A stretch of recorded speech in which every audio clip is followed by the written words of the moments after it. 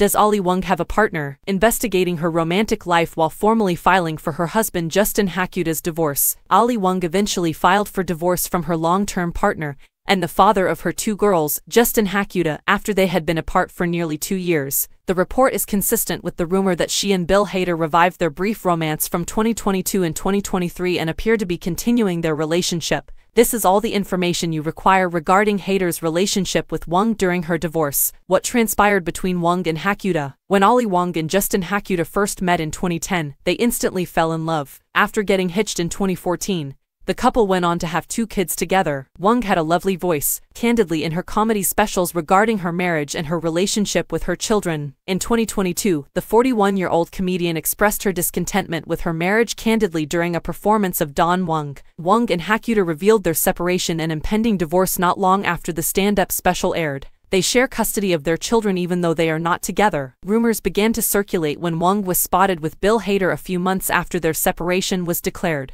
the IT celebrity Bill Hader and Maggie Carey, whom he wed in 2006, are no longer together. After being together for more than 10 years and having three kids, the couple announced their split in 2017. 2018 saw the pair's final divorce. He then dated actresses Anna Kendrick and Rachel Bilson before he began dating Wong in 2022. What is going on with Bill Hader and Ali Wong? Ali Wong, a comedian who was already quite well known, saw an unexpected spike in popularity with the premiere of her smash Netflix series Beef many people's attention was drawn to the actress as a result of her sudden fame, and the public started to inquire about her personal life. Fall of 2022 saw Ali Wong begin dating the Barry actor. However, with Beef's success, Ali and Bill's relationship was once again made public, and they appeared to be content as a loving pair. Photographed a couple times too by paparazzi, Wong and Hakuta are currently working out the terms of their asset division and child custody agreement since Wong has officially filed for divorce. Hader and Wong's relationship appears to be going well the SNL cast member disclosed that they had gone on a holiday to Ali's birthplace of San Francisco,